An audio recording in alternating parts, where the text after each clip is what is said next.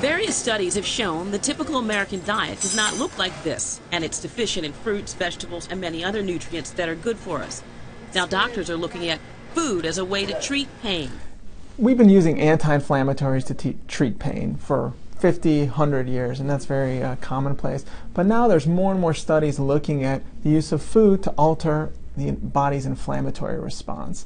And it's those kind of studies that are helping us learn alternative ways to treat pain. Mercy Medical Center Dr. David Maine says certain foods can almost change the biochemical arena of the body and decrease chronic inflammation. Some of the studies uh, uh show changes in as early as 6 to 12 weeks, but they're all very early, and it's such a benign change. It's easy to make this change. We know it can't hurt you. Mercy Medical Center dietitian Kelly O'Connor says making better food choices is not only good for an overall healthy lifestyle, but certain foods may help with the inflammation and pain management.